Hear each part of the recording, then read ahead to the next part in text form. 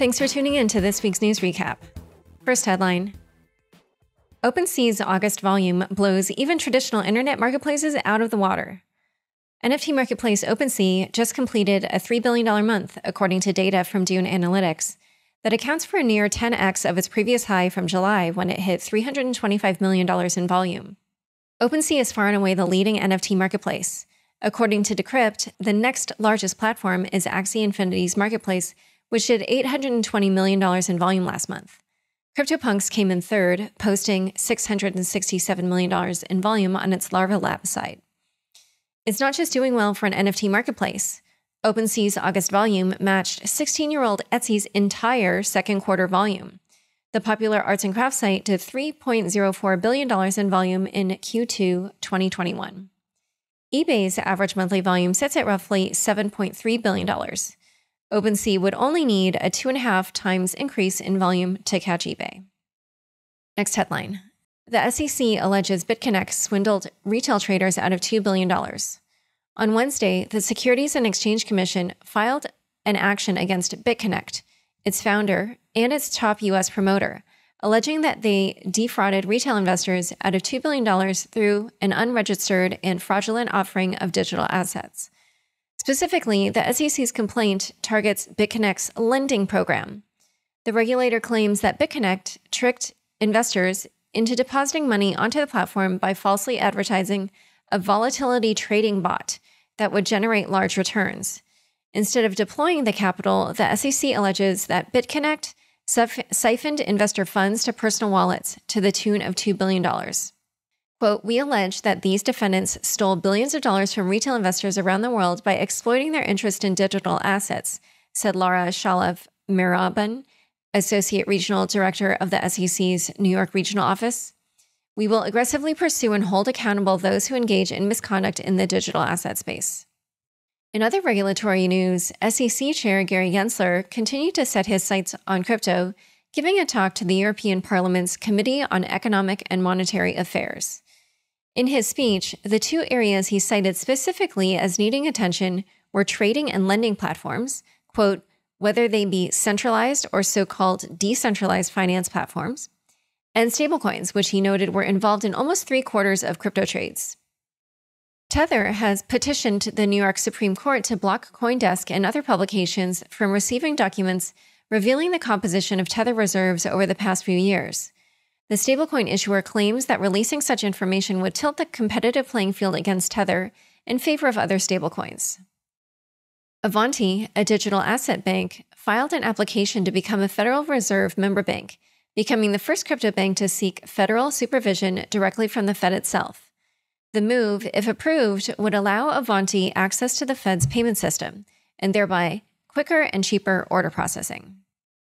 Next headline Binance.com added to investor alert list by Singapore regulator. The Monetary Authority of Singapore, the main financial regulator in that country, has placed Binance.com on its investor alert list. Its country specific site, Binance.sg, is a separate entity and is not on the list. Last week, Binance.sg hired Richard Teng, the former chief regulatory officer of the Singapore Stock Exchange, as its CEO. Binance.com, however, has come under regulatory scrutiny and pressure these last few months, with multiple jurisdictions from Europe to Asia making enforcement actions or issuing warnings about the exchange. Additionally, its US entity, Binance.us, suffered a blow recently when recently hired CEO Brian Brooks, also a former regulator, left within a few months. In an interview with The Information this week, Binance.com CEO Changpeng Zhao known as CZ, said, quote, regulators around the world are looking at crypto. And when they look at crypto, they do look at us first, given that we are by far the largest player in the market globally. In the interview, CZ also said Binance.us plans to go public within three years. Next headline Jack Dorsey plans to make Bitcoin DeFi a reality. In July, Twitter and Square CEO Jack Dorsey announced plans to create an open source Bitcoin platform named TBD. Last Friday, Mike Brock, the Cash App exec heading up TBD, gave an update on Twitter, writing, quote, This is the problem we're going to solve. Make it easy to fund a non-custodial wallet anywhere in the world through a platform to build on and off ramps into Bitcoin. You can think about this as a decentralized exchange for fiat. Brock views TBD as a missing piece for the crypto industry, which, as currently constituted, relies on centralized third parties like Coinbase and Cash App to facilitate fiat transactions. TBD plans to build its project out in the open, completely permissionless, intending to allow any non custodial wallet to plug into its DEX. For now, Brock and Dorsey hope to keep TBD Bitcoin native. However, as Bitcoin is not a smart contract platform like Ethereum or Solana, the tech stack must improve for TBD to succeed. Brock mentioned Rootstock, a smart contract Bitcoin sidechain, as a possible option for building out the Bitcoin DEX. However, he noted, quote, the gaps needed to build this may be too large, which would also have us consider other chains as a bridge. Speaking of Jack Dorsey, according to Mac Rumors, Twitter may soon enable users to tip creators with Bitcoin.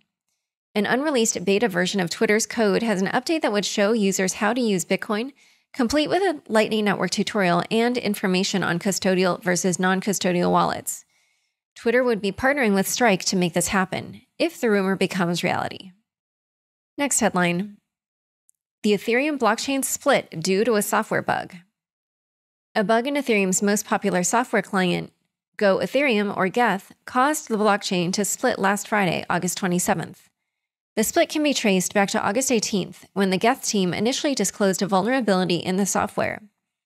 At the time, the developers did not explain the nature of the bug in an effort to prevent a hack before it was patched. On August 24th, Geth released a hotfix for the bug, describing it as, quote, a high severity security issue. By the 27th, it became clear that Geth's efforts to patch the bug fell short, as a subset of Ethereum nodes failed to update their Geth software.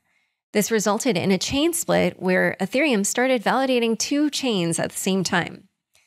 Luckily, Ethereum was not truly affected. Tim Beiko, an Ethereum core developer and a previous guest on Unchained, told Decrypt, quote, the bug is serious in that it caused a chain split, but the effects on the Ethereum mainnet were negligible given that the vast majority of clients had upgraded. Next headline Mutant Ape Yacht Club and Loot for Adventurers expand NFT boundaries. Two NFT collections went especially viral this week. First, on Saturday, Yuga Labs dropped its Mutant Ape Yacht Club collection, selling 10,000 zombified apes in a Dutch auction that started at 3 ETH. Mutant Ape Yacht Club is essentially a sister collection to Bored Ape Yacht Club, the second largest NFT collection on OpenSea by volume. In addition to the Dutch auction of 10,000 original mutant apes, the launch consisted of an airdrop of mutant serums to existing Bored Ape holders allowing them to mint mutant versions of their apes for free. The project ended up raising $96 million for Yuga Labs. At publishing time, Mutant Apes had the eighth highest volume traded on OpenSea for all time, despite being released less than a week ago. Number two, last Friday, Vine founder Dom Hofmann dropped an 8,000 piece NFT collection dubbed Loot for Adventurers. The text based NFT collection quickly caught on. In about a week, Loot has done over $60 million in volume and currently has a market cap of $250 million plus. Rather than a standard JPEG or PNG, the 8,000 Loot NFTs contain walls of text detailing eight specific characteristics randomly generated for scarcity. Each token was minted with a different combination of weapons, chest armor, head armor, waist armor, foot armor, hand armor, necklaces, and rings. The idea, presumably, is for loot NFTs to act as a base layer for other games and protocols to interpret. Essentially, any play to earn or Web3 game can plug into loot, download the characteristics, and then spawn its interpretation of a loot NFT in its game. On a related note, Dom will be releasing a new NFT project in the coming weeks labeled Supdrive, which is an on chain fantasy game console. Next headline Ethereum Layer 2 competition heats up with launch of Arbitrum. Offchain Labs, the developer behind Ethereum Layer 2 solution Arbitrum, launched on Tuesday. The company also announced a $120 million funding round at a valuation of $1.2 billion. Arbitrum is built to scale Ethereum by using optimistic rollups, in which transactions are bundled outside of the mainnet before being posted on the Ethereum blockchain.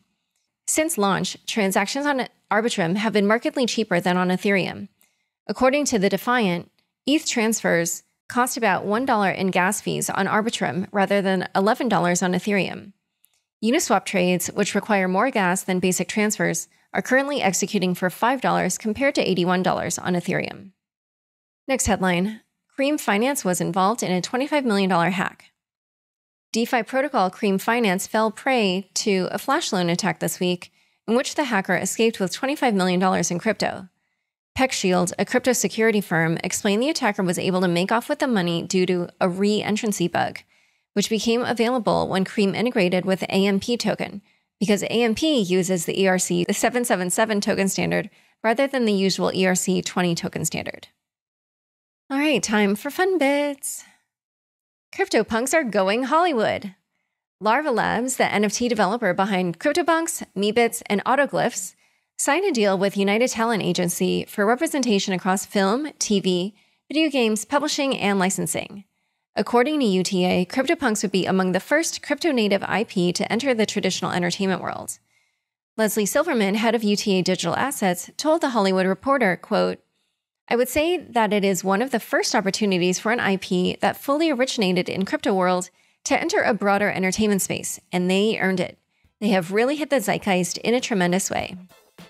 All right, thanks for tuning in. To learn more about Steve, FTX, and Forbes Crypto Asset and Blockchain Advisor, be sure to check out the links in the show notes. Unconfirmed is produced by me, Laura Shin, with help from Anthony Yoon, Mark Murdoch, and Daniel Nuss. Thanks for listening.